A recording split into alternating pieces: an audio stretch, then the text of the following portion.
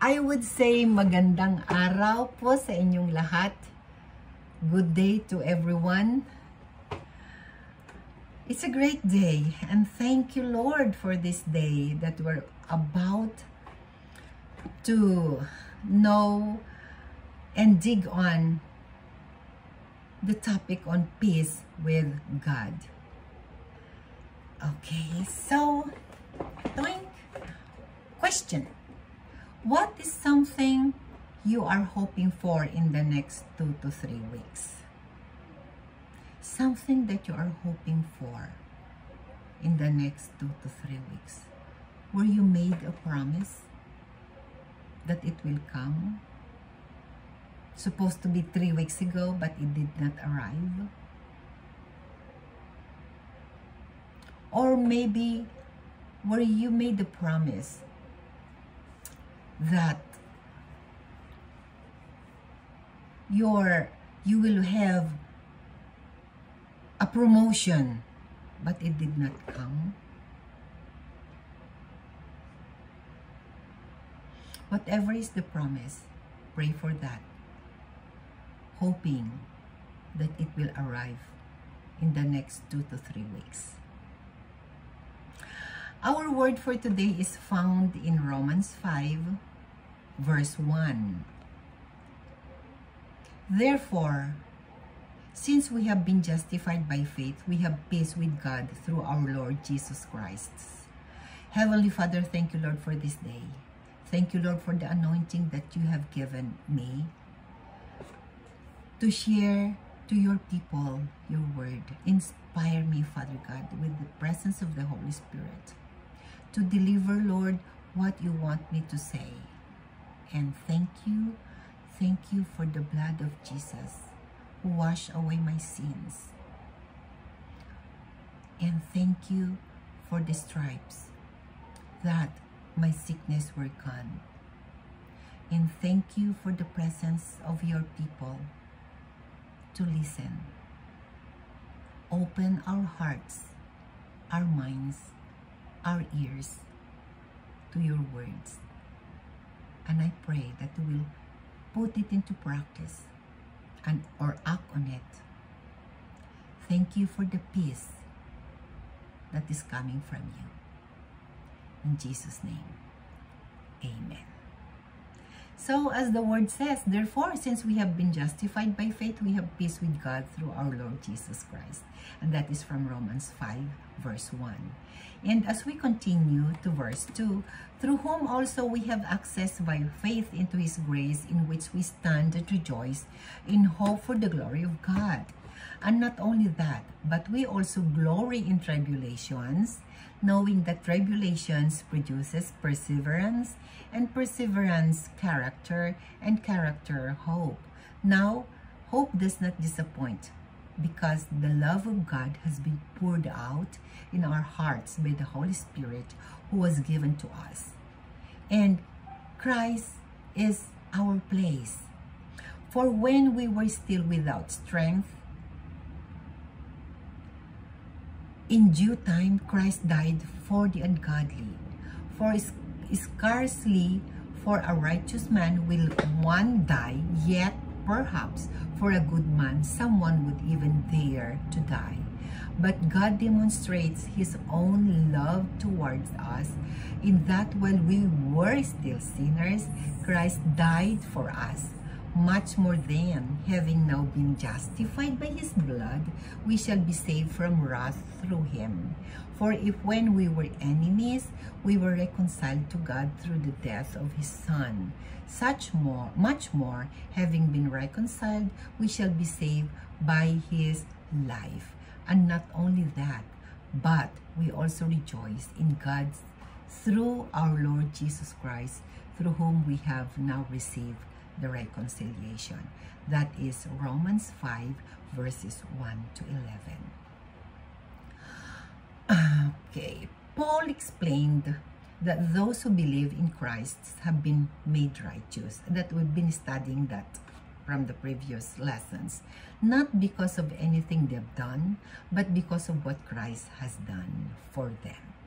He went on to say that not only do the believers have God's righteousness, but they also have peace with Him. Paul encouraged the believers to know God and experience the fullness of life in Him. As this is also true for us who put our, uh, our faith in Christ, let us look at what we can have in Christ now that we have been reconciled to God.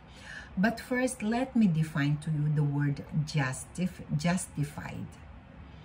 Justified is mean made righteous into the sight of God, vindicated, sustained, substanti substan substantive, legitimatized, defendant.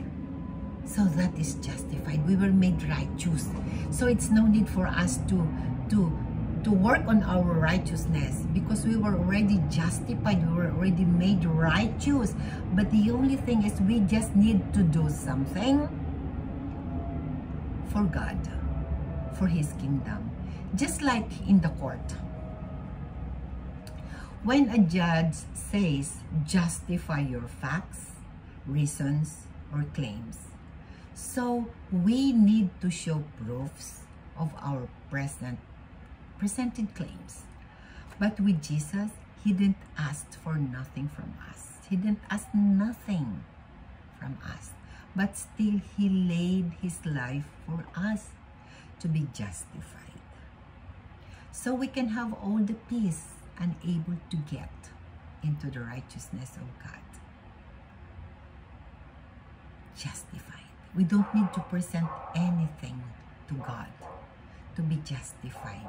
Just like present to him that I feed I feed the hungry or I visited the sick or I visited uh, the one in the jail or maybe I gave generously those are not not those aren't uh, asked from us anymore when it comes to justification well, that's that's another.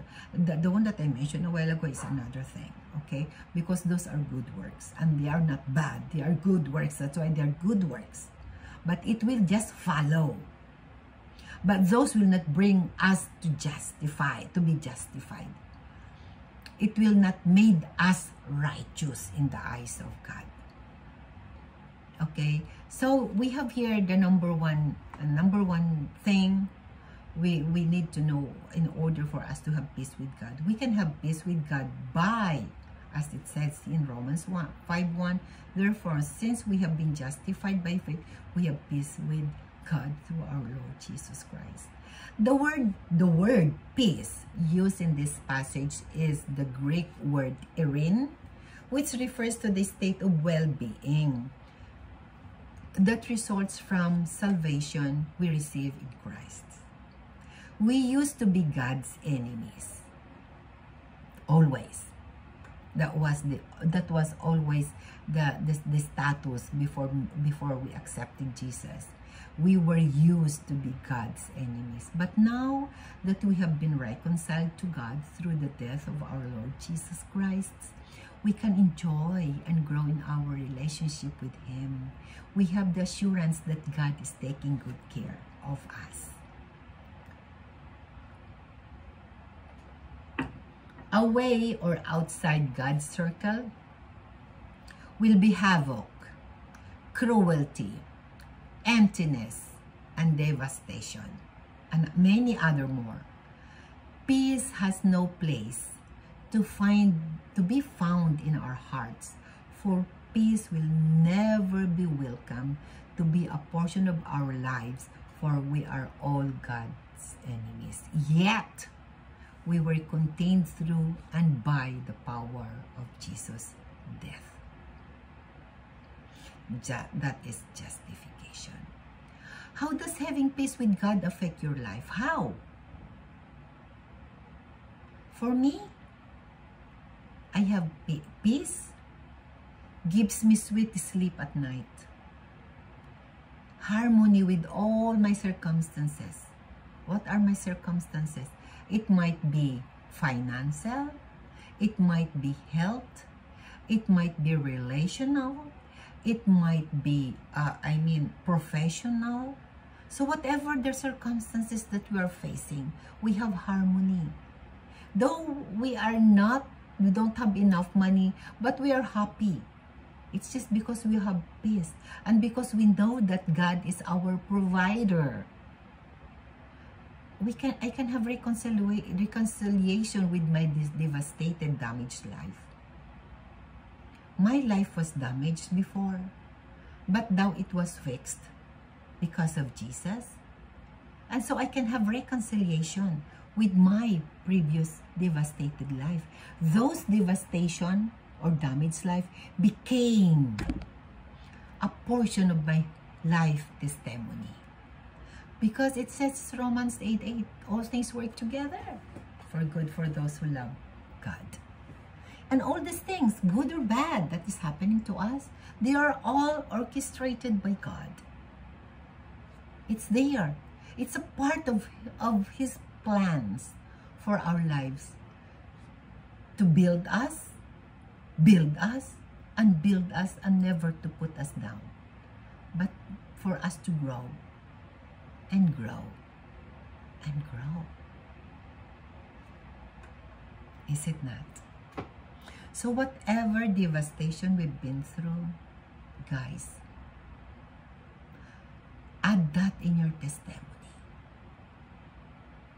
For it might help others when you share your testimony to other person. It's a portion of our life. Number two, we can hope in God. We can hope in God. Huh, okay. So what does it mean in Romans 5 2? Through him, we have also obtained access by faith into his this grace in which we stand and we rejoice in hope of the glory of God. It's just because we have been reconciled with God, we can tap into his grace. Through Jesus, we can now rejoice in hope of the glory of God. This means that we can be confident and look forward to the victory that we have in Him. Jesus did not only reconcile us with God, but also gave us the assurance that we shall be saved by His life. This refers to our future salvation, where we get this to spend eternity with God and also to being saved from the difficulties we face today. So this one is speaking of the future. But yet it says, we have this strength the strength to face these difficulties of life today because we've been saved. There is already salvation, so there is already help coming from God. And He cannot deny that God, that help from us. In Hebrews 11, 1, it says, Now faith is the assurance of things hoped for. Ah, the conviction of things not seen. So faith is, I would say, it doesn't have an image. It doesn't have an image. It's just, it's just you having faith in God. Faith doesn't come in material. So how, how can it be faith when it comes in material? Romans 15.13 says, May the God of hope fill you with all, not some, fill you with all joy and peace in believing, is believing so that by the power of the Holy Spirit, you may abound in hope. So, all joy, all peace, is coming from the Holy Spirit. How is this hope seen in your life? How is this hope seen in your life? When you have faith, Whatever you prayed for, consider it done. Answers will come in the right time, timing of God. So once prayed, consider it done. That is my hope. That is my hope. Once prayed, consider it done. And please, guys, don't get back what you what you have prayed for. Just like, for example, just like, for example, okay, you don't have a job and you're praying for a job. You already prayed for a job. Lord, give me a job that can be sufficient to, to support my family and so forth and so on, whatever you want from that job. And then one month went by, two months went by. On the two months and a half, I want to make a way. I will find a way on how to find job. So what kind of job are you looking for? In fact, God said that we have to also help ourselves. You know, that job that we are praying for, it will not just drop in front of us. Here's the job. Blank. No. God will deliver you to the right direction. So while you are praying for a job, look for the point or for the, the, the path. Which way? Lord, which way will I go? Which way lead me to the place where you want me to go to find a job? Don't just pray for a job then sit down and wait. Parang si Juan tamad. No. When you pray for a job, ask God where you want, where He wants you to go. He wants you to go to Makati and go to this street and go to that building. Go. Because once prayed, considered it done but we also have to do our portion. Okay? Number three, we can have joy in spite of suffering. In, that, that, that is in, Roman, in Romans 5 3. Not only that, but we rejoice in our sufferings, knowing that suffering produces endurance. Thanks, sure. Now that we have been reconciled with God, we can have complete joy despite our suffering. This is because we know that what we experience on earth is temporary. Ultimately, we have victory in God. Our joy is anchored on the truth that Jesus Christ saved us from the wrath of God and put his favor upon us, as it says in Romans 5 9. In fact, the trials and sufferings we are experiencing are for the strengthening of our character. See, there is there is also a reason why we're experiencing trials and sufferings so that we can be strong in our character. We can be a stronger person.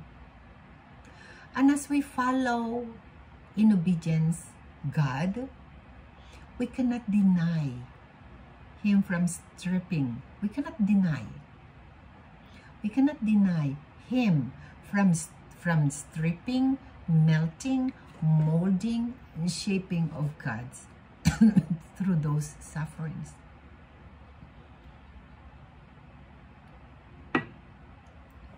If we need to undergo those sufferings, God is so willing because He's trying to change us from our old ways. He's revealing to us His righteousness. That you have to remove this. You have to, you have to, to, to, to uh, uh, strip this.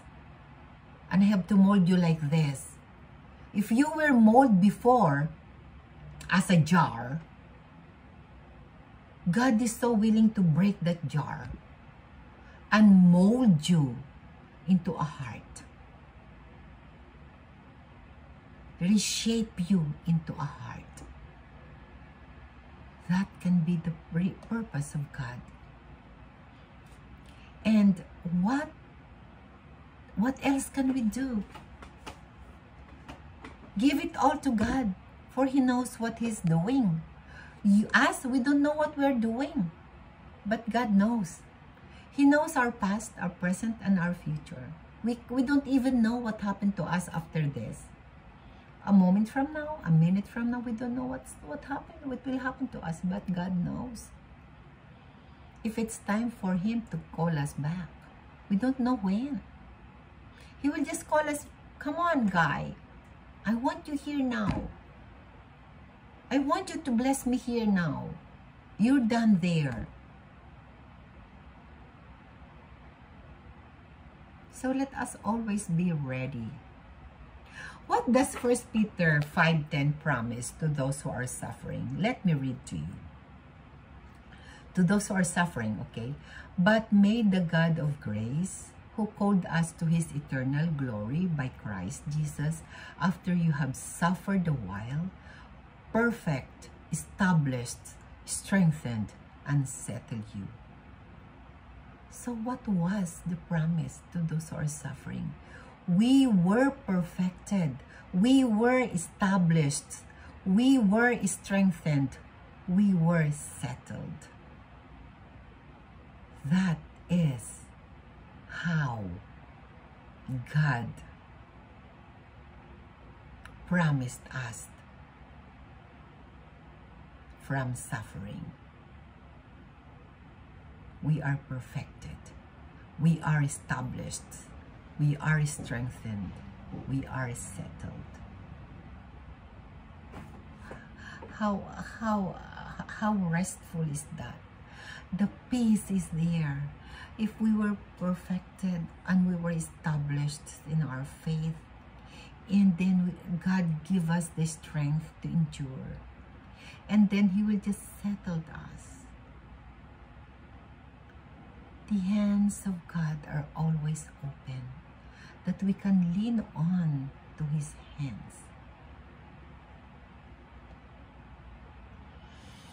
With that, guys, what area in your life is God strengthening through challenges that you are facing right now? Are there any challenges that you are undergoing right now? How can you respond to that?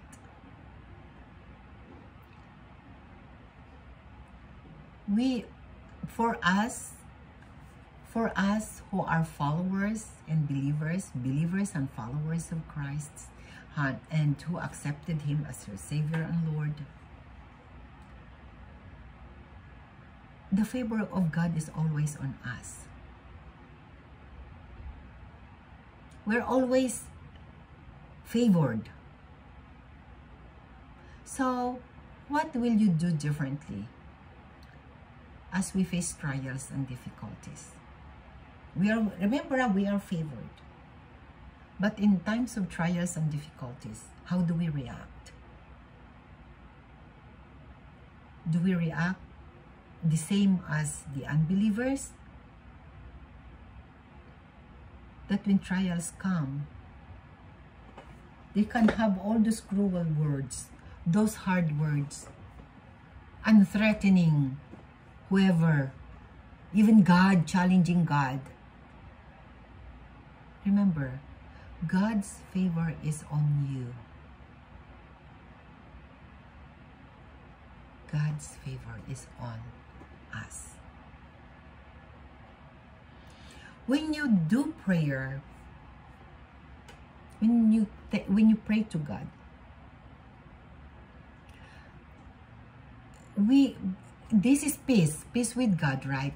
Thank God for the peace that He's given you, for the relationship, personal relationship that you have with Him.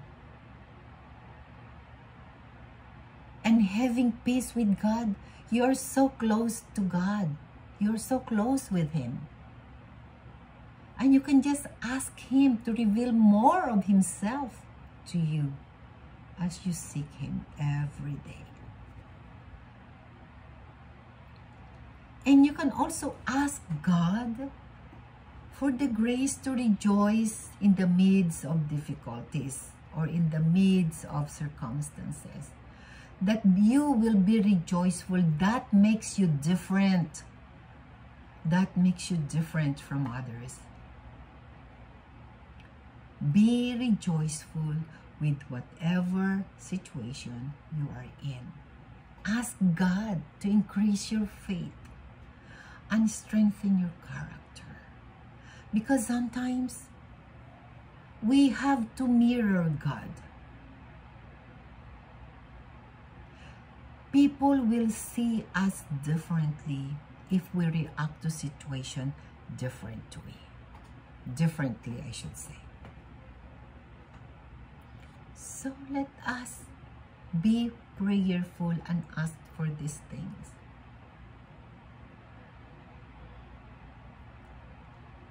We need God.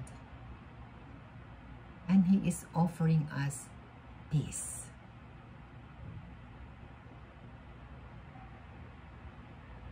What else can we ask for?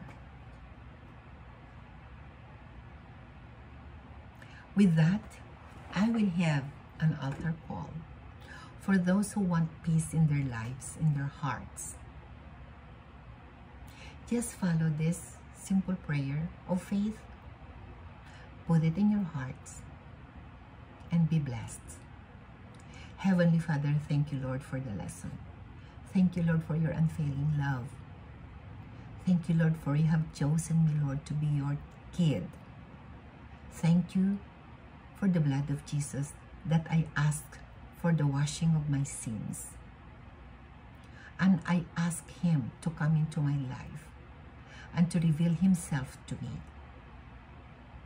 And the presence of the Holy Spirit to dwell in my heart. The God-shaped hole in my heart. That all it's only you, God, who can fill it in and nothing more. Teach me to get out from the chair sitting in my heart and sit in there. Be the driver of my life from this day on. In Jesus' name, amen. God bless everyone. I love you with the love of the Lord.